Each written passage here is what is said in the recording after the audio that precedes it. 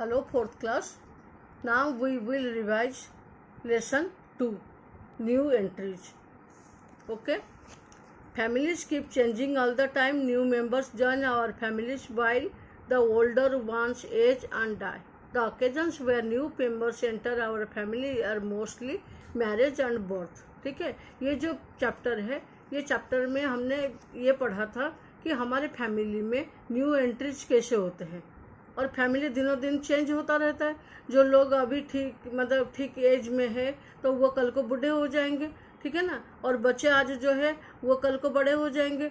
तो इससे क्या होता है ना कि जो बूढ़े लोग होते हैं, एजेड वाले लोग होते हैं, उनका डाय, डेथ हो जाता है और कुछ इसी तरह ओकेजन होता है कि न्यू मेंबर्स घर में आते हैं। जैसे बर्थ हो गया, बच्चों का न्यू बॉर्न बेबी आता है मैरिज होता है तो न्यू मेंबर हमारे घर में आते हैं। ठीक है, ये मैरिज सेलिब्रेशन होता है। उसके बाद होता है ब्राइड्स फैमिली वन गिफ्ट्स और क्लॉथ्स ज्वेलरी ये सब पता होगा। दुल्हन जब घर में आता है तो कितने सारे चीज़ें लेके आता है। लेकिन कुछ इसी तरह अनकंफर्टेबल चीज़ होती है हमारे समाज में, जो दुल्हन के पेरेंट्स को ज़बरदस्ती करा जाता है कि तुम्हें ये सारे चीज़ें दोगे। ठीक है ना? तो इसको हम क्या बोलते हैं? डाउरी मतलब उनके ऊपर दबाव डाला जाता है कि हमें ये ये सामान चाहिए हमारे घर के लिए, तुम ये दोगे। ये इसे बोलते हैं डाउरी। और कुछ फैमिली में न्यूज़ में हम देखते हैं, कुछ फैमिली में इसी तरह करते हैं कि जो दुल्हन ज़्यादा डाउरी नहीं लाती है तो उसके ऊपर टर्चर करा जाता है। ठीक है ना? मारपीट करते हैं। इसमें इवन उनको मार भी डालते हैं। तो जो एजुकेटेड लोग हैं, हम लोग को ये सोचना चाहिए कि ऐसे नहीं होना चाहिए समाज में तो उसके अगेंस्ट में हमें आवाज़ उठाना चाहिए। ना हम खुद ही करेंगे, ना किसी को करने भी देंगे। तो ये क्या होता है? राजस्थान जैसे जगह में, राजस्थान में क्या होता है? चाइल्ड मैरिज होता है। आजकल तो नहीं होता होगा, लेकिन चाइल्ड मैरिज के ऊपर ज़्यादा ज़ोर डालते हैं। देखा होगा वो सीरियल में दिखाते हैं ना? छोटी सी बच्ची की शादी हो जाती है, कितना घर का काम करती है। तो हमारे जो गवर्नमेंट के रूल के हिसाब से लड़की को गर्ल को 18 इयर्स होना चाहिए बॉय को ट्वेंटी वन ईयर्स होना चाहिए। उसके नीचे वाले जो, जिनकी शादी हो जाती है, उसको बोलते हैं चाइल्ड मैरिज ठीक है? चाइल्ड मैरिज से क्या नुकसान होता है? क्योंकि बच्चा अपना बचपन खो देता है और घर के कामकाज में लग जाता है और उसके बाद क्या होता है? पढ़ाई लिखाई से दूर रहता है। पढ़ने की इच्छा होती है, फिर भी पढ़ नहीं पाते। ठीक है? जो न्यू बॉर्न बेबी घर में आता है तो घर में कितनी खुशी होती है ना? सारे लोग उसी के ऊपर ध्यान डालते हैं। ठीक है ना? कैसे खेल रहा है, कैसे क्या कर रहा है, उसी के आसपास ही लोग रहते हैं। उसके बाद है foster parents and adopter child foster parents किसे कहते हैं? जिन कपल्स को बिल्कुल बच्चा नहीं होता है, बच्चे नहीं हैं जिनके जिन पेरेंट्स के, उनको बोलते हैं फोस्टर पेरेंट्स और वो क्या करते हैं? दूसरे जगह से बच्चे को अडोप्ट करते हैं। फोस्टर पेरेंट्स वो होते हैं जिन पेरेंट्स के बच्चे नहीं होते और वो दूसरे जगह से बच्चे को अडोप्ट करते हैं। ठीक है? और ये ऑर्फानेज क्या होता है? जहाँ पर कि जिनके, जिन बच्चों के पेरेंट्स बिल्कुल दुनिया से चले जाते हैं तो इसी तरह बच्चों को एक जगह रखा जाता है, उसको बोलते हैं ऑर्फानेज ठीक है ना?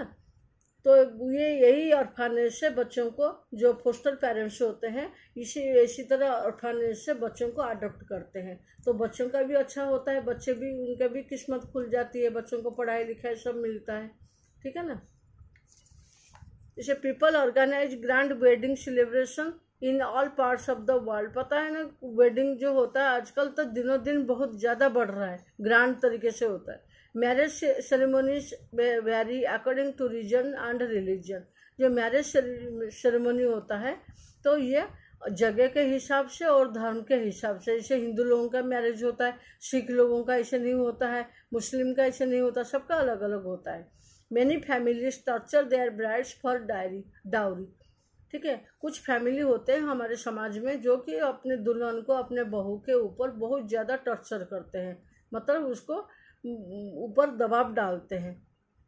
We must fight against evils like dowry child marriage and discrimination against the girl child ठीक है? और हमें क्या करना चाहिए? समाज में ये सब जो डाउरी चाइल्ड मैरिज ये जो चीज़ें हैं डिस्क्रिमिनेशन अगेंस्ट बॉय और गर्ल के बीच में डिस्क्रिमिनेशन करना मतलब फ़र्क रखना घर में बॉय होता तो बहुत ज़्यादा लाड प्यार होता है, लड़की है तो तो चल घर का काम कर, ये कर, बाहर नहीं जाना, बहुत सारे रोक टोक होता है।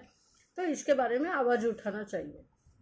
अभी न्यू वर्ड है wedding the a ceremony when two grown up individual decide to stay together dowry excess gift आक्स in marriage from the girl's family orphanage a place where children who have lost their parents stay. Foster parents parents who raise an adopted child. ठीक है? अभी हम आपका यही चीज़ fill in the blanks में मैं आपको कराऊँगी। ठीक है?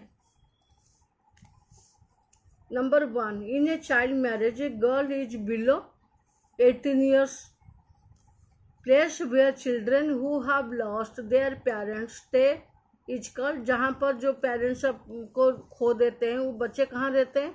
Orphanage. The gifts demanded from the bride's parents are called dowry. The ceremony where two people marry each other is wedding. Dash parents who adopted child, foster parents. Child marriage is most common in Rajasthan. People often prefer to celebrate the birth of dash rather than a dash child. जब घर में बच्चा आता है तो बच्चे के लिए फ़ंक्शन करा जाता है लेकिन लोग क्या करते हैं, जब बॉय होता है तो लोग क्या करते हैं, बहुत बढ़िया फ़ंक्शन करते हैं गर्ल चाइल्ड होता है तो बिल्कुल फ़ंक्शन करते ही नहीं है ये होगा of boy rather than a girl child. We must fight against evils like child marriage, dash and dowry. ये सब जो है हमारी जो समाज में इसके अगेंस्ट में हमें आवाज़ उठाना चाहिए many families torture their brides for dowry the occasions where new members enter our family are marriage and birth. पैदा होते हैं बच्चे न्यू बर्न बेबी आती है। तो ये हो गया हमारे रिवीजन ऑफ़ लेसन टू। आप लोग क्या करोगे?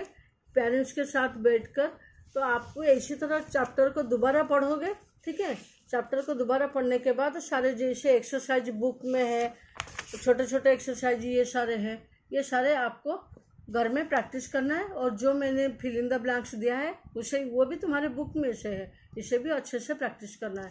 फिर नेक्स्ट क्लास में मैं लेसन थ्री का भी लेके आऊँगी रिविज़न वर्कशीट जैसा बनाकर लेके आऊँगी। ठीक है?